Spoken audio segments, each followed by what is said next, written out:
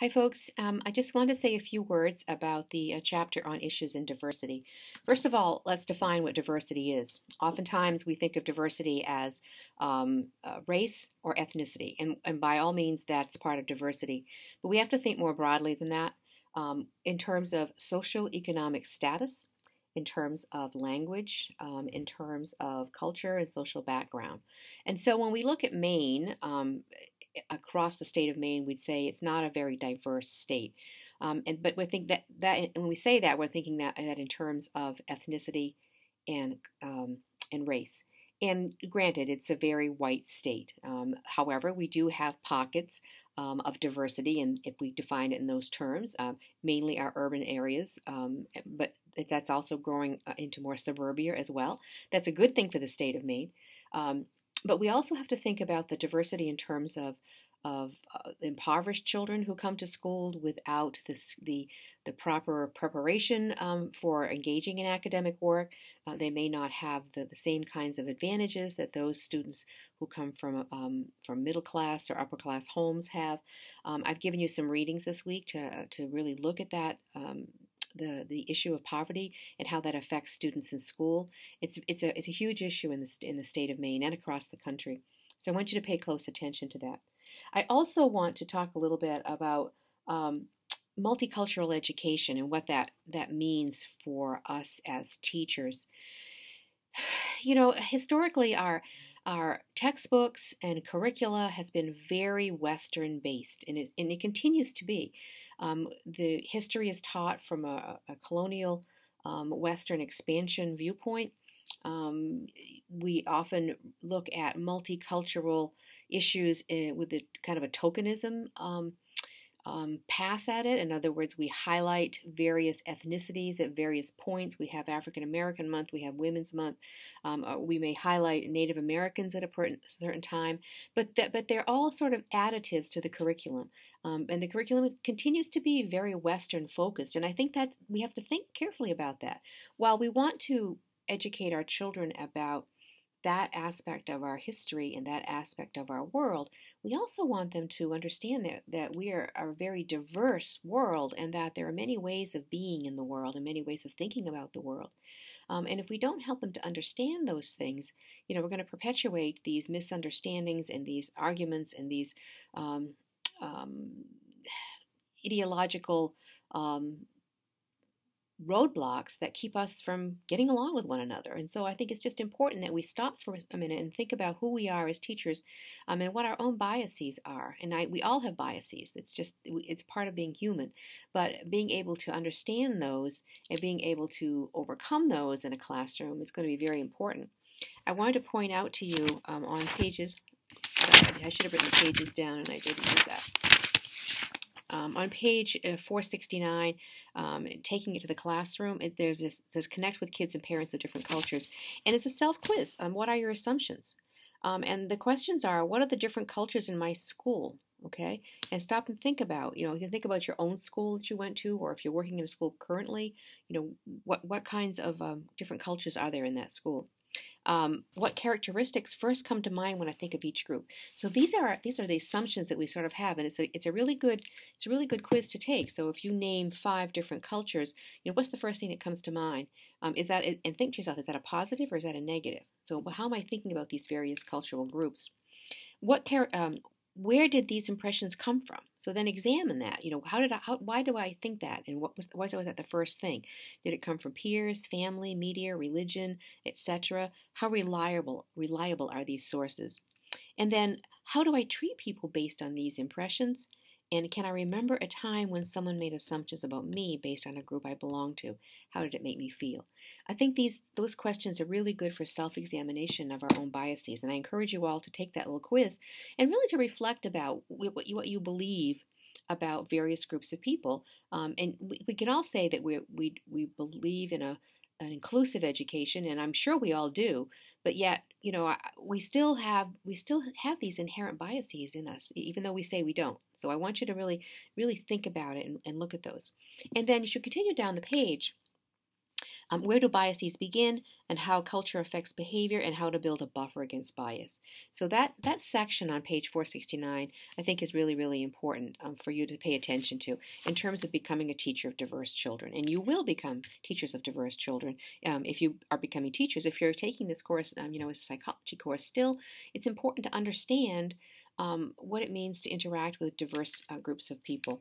Um, also, at the top of that page, um, it lists two strategies to help teachers become aware of and reflect on their attitudes towards others. Okay, um, one is um, is to, the I just gave you to ask you to reflect on them. And the second one um, asks you to become aware of and reflect on your instructional approach and how culturally culturally relevant or sensitive it is to students' diversity and cultural group memberships.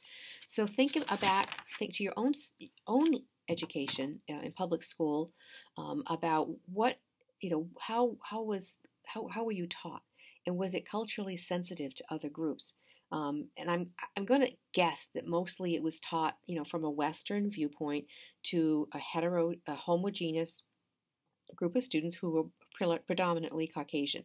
Um, I I don't know that, but I'm just I'm, my own experience and, and having done this with students in the past, um, that's kind of really what where we, our mindset is.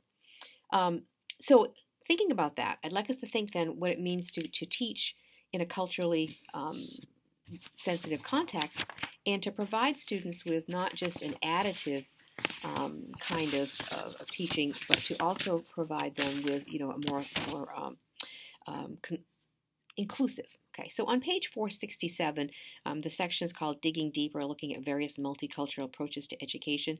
Um, and James Banks is sort of a forerunner in this. If you were in 250, you'll remember that we talked about this in 250, um, about uh, these various approaches. So one is contributions approach. Um, this is where we, we sort of um, look at ethnic figures who challenge the dominant view um, that are not included in the program. So people like um, Harriet Tubman, um, Frederick Douglass, uh, Susan B. Anthony, um, people who from a from a cultural group who stood out, um, um, who was not the dominant group. so so it's just look, sort of looking at those contributions that those those people made. And then a second approach is the additive approach, okay, where, where this expands the contributions approach um, ethnic concepts, themes, points of view, and accomplishments, as well as key ethnic figures, are added to the curriculum, but the perspective from which they are viewed is largely informed by mainstream um, values. Okay, so we're getting a little bit more into um, highlighting some of these ethnic figures, but they're still looked at sort of as the other rather than as part of. Um, the third one is transformation, and this approach assumes that there is no single valid way of understanding people. In other words, you know, we don't look at uh, learning and teaching and understanding just from one um, one lens, but we have a multi-lens view in terms of what what we look at. So the example given here is. Um, um, uh, the evolution of European settlers' perspective on native rights. The attitude towards native rights in the 1600s was competitive colonialism. That later became hegemony, um, and then finally administrative colonialism under the Indian Act. Remarkably, only since 1968 have Native people been able to exercise any decision making autonomy over their lives and lands. Clearly, their perceptions of social justice during these periods are radically different. So, you know, looking at the evolution of and the change in the ways in which we have looked at various viewpoints um, is transformative. So it becomes this more transformative way of looking at um, how we have viewed um, perspectives through um, through the years. And then finally, the last one is social action. And this includes all the components of the previous ones, but the students help to make decisions and take actions concerning these. So it's really doing something about it. And it doesn't have to be, you know, a huge big thing, but some, some something that students are engaged in in understanding the multicultural lit world in which we live in. I've given you a link for Rethinking Schools, which is a, a group um, who um, advocates for multicultural teaching and social justice in teaching, and um, that's going to be part of your discussion forum this week. Um, I encourage you to spend some time with the Rethinking Schools um, journal. There's a lot of really, really good articles that are free um, to look at. Some of you have to purchase, but there's plenty there to look at, so you don't have to worry about that. Um, so do so do think about multicultural education and how you might approach that in a classroom if you're going into a classroom, um, particularly if you're going if you're going to a, a, a area of Maine um, that may be very homogeneous. How will you help those students to understand um, a diverse perspective? How will you help them to understand that there are more than one? There's more than one way of looking at the world, and that sometimes we have to get out of our own way um, to think about that. And it's very difficult if we live, you know, in sort of this very enclave um, community where we only see people who look like us or talk like us or think like us. Um, it's a real challenge for teachers to be respectful of, of those students' um, cultural backgrounds and familial backgrounds, but to stretch their thinking enough so that they can think outside of their own own group uh, and come, become better, you know, world citizens. In fact. And the, the last thing I want to just talk a bit about is, is teacher expectations. Teacher expectations is huge. It can it can be it can it can mean it can mean so sorry it can mean success or it can mean failure. And so if you have a, a, a group of students in front of you, um, we always say we have high expectations for all our students, and we absolutely should have high expectations for all our students. But that doesn't mean that the expectations are the same for each student. We have to be careful about that. If we have a student, you know, a, a, or several students who are coming from an impoverished background, who may not have enough to eat at home, um, who may not be clothed properly for the weather, um, who, you know, all of these things are factors. Um, and so we have to understand that we want high standards for this particular group of students, but we have to be able to, to meet them where they are and scaffold them. In other words, helping them to, to, to be able to um, engage in the academic work that we want.